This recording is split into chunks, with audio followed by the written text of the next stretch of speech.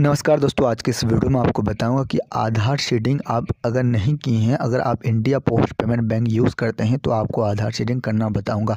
तो देखिए, अगर आपका आधार शेडिंग नहीं है तो आपका करवाना बहुत ही ज़रूरी है। बैंक शेडिंग स्टेटस आप चेक करेंगे, अगर आपका एक्टिव नहीं है, यानी कि आपको बोला please check with your bank to get your Aadhaar number link your bank account अगर आपको आधार कार्ड से बैंक अकाउंट लिंक करने कह रहा है तो अपने मोबाइल फ़ोन के माध्यम से आप इंडिया पोस्ट पेमेंट बैंक में यानी कि लिंक करवा सकते हैं। तो सबसे पहले आपको अपने मोबाइल फ़ोन के अंदर आ जाना है। आने के बाद आपको इंडिया पोस्ट पेमेंट बैंक का जो ऐप है I double mobile banking app इस ऐप को डाउनलोड करके ओपन कर लेना। अगर अक्सर आप चलाते होंगे, अगर India post payment bank use करते हैं तो इस ऐप आपके पास होगा ही। अगर आपके पास है तो इसको ओपन करके चार अंक का पिन डालकर इसको लॉगिन कीजिएगा।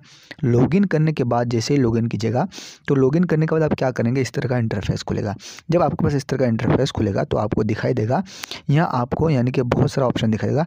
तो आपको माई यानी कि सर्विस में आपको एक सर्विस का बटन दिखाई देगा, उसी पे क्लिक करेंगे।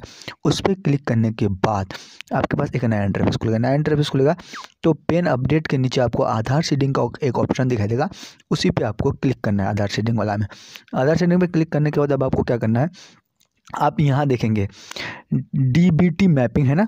तो पहला वाला ऑप्शन तभी चूज़ करेंगे। देखिए agree to receive D B T in I double P mobile banking account and verify exit in with N P C I अगर आप पहली बार यानी कि ये करेंगे तो सबसे पहला वाला चूज़ करेंगे। अगर आप चेंज करना चाहते हैं तो दूसरा वाला चेंज करेंगे। जैसे कि मैंने मैंने क्या कर रहा हूँ कि मैं, मेरा पहले से एक बैंक अकाउंट लिंक है तो मैं पहला वाला नहीं कर रहा हूँ। जिसका नहीं है, यानी कि पहली बार लिंक कर रहा है तो वो जो है, पहले वाला यानी कि चूज़ करेगा। और जिसका यानी कि पहले से कोई भी अकाउंट लिंक है तो आपको क्या करना है? अगर चेंज करवाना है तो दूसरा वाला ऑप्शन चूज़ कर लेना है। दूसरा वाला ऑप्शन चूज़ करने के बाद अब आपको क्या करना है कि वेरीफाई पे क्लिक करके आप यानी कि चेक कर सकते हैं कि आपका कौन सा बैंक अकाउंट पहले से लिंक है तो उसको चेंज भी करवा सकते हैं। जैसे कि मैंने आपको बता रहा हूँ तो पहला वाला ऑप्शन मैं अभी टिक करके रखूँ ना तो नहीं करूँगा, क्योंकि मैं पहले से बैंक अकाउंट लिंक है तो दूसरा वाला ऑप्शन चूज़ करके हमको चेंज करना है। तो वेरीफाई पर क्लिक करेंगे। वेरीफाई पर क्लिक करने के बाद अब आपको करना क्या है, एक ओटीपी आएगा। वेरीफाई पर जैसे क्लिक करेंगे ना तो आपके पास एक ओटीपी आएगा। उस ओटीपी को यानी कि फिल करने के बाद अब आपको करना क्या है, आपको सबमिट पर क्लिक करना है। जैसे ही आप सबमिट पर क्लिक करते हैं। तो सबमिट पर क्लिक करने के बाद होगा क्या? जैसे कि मेरे पास ओटीपी आ चुका है। देखिए eight seven eight nine, eight, nine.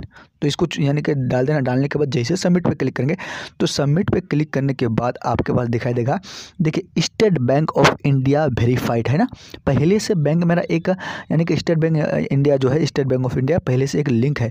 तो देखिए, आपको दिखा दिया। इस तरह का आप चेक कर सकते हैं, ठीक है? तो है तो मैं चेंज करना चाहता हूँ, दूसरा वाला ऑप्शन चूज़ किया हूँ। तो चूज़ करने के बाद आपको कन्फर्म पर क्लिक करना है। यानी कि चेंज करना हो मैं ना तो कन्फर्म पर क्लिक कर रहा हूँ। क्योंकि स्टेट बैंक पहले से मेरा लिंक लिंक था, यानी कि सीडिंग था, आधार सीडिंग था तो मैं चेंज कर रहा हूँ इंडिया पोस्ट पेमेंट कन्फर्म पे क्लिक किया कन्फर्म पे क्लिक करने के बाद आपके पास एक ओटीपी आएगा उस ओटीपी को फिल करना है उस ओटीपी को फिल करने के बाद देखिए मेरे पास ओटीपी आ चुका है three eight six nine six nine four इसको डालने के बाद जैसे ही ओ डालेंगे ओटीपी को डालने के बाद आप सबमिट पे क्लिक कीजिएगा ना तो सबमिट पे क्लिक करने के बाद आपके पास जो है यहाँ देखिए यहाँ क्या दिखा रहा है ओ टी तो आपको ओ ठीक ठीक डालना है ठीक है अगर एक भी गलती हो जाएगा तो आपका ओटीपी नहीं लेगा जैसे कि यहाँ ओटीपी ले रहा है यहाँ देखिए आपको दिख रहा हो।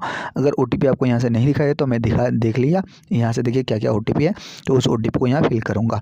जैसे मैं ओटीपी फिल कर रहा हूँ, देखिए three eight nine nine four जो भी है नाइन फोर डाल दिए, डालने के बाद देखिए। फाइनली फाइनली जो है request for Aadhaar seeding successful यानी कि मेरा जो है आधार शेडिंग सक्सेसफुल हो चुका है।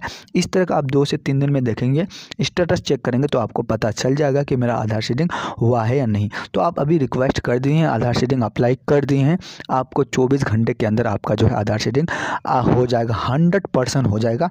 आपके, यानी कि मोबाइल फ़ोन के अंदर एक मैसेज भी आ जाएगा कि आपका बैंक अकाउंट जो है, आधार से सीडेट हो चुका है लिंक हो चुका है एनपीसी हो चुका है। इस तरह का आप यानी कि यानी कि आधार से लिंक कर सकते हैं। तो यही था वीडियो वीडियो कैसा लगा? अगर थोड़ा सा भी इन्फॉर्मेटिव वीडियो लगा हो तो वीडियो को लाइक करके चैनल को सब्सक्राइब ज़रूर कीजिएगा और इस वीडियो को दोस्तों के साथ ज़रूर शेयर कीजिएगा। तो चलिए फिर मिलते हैं।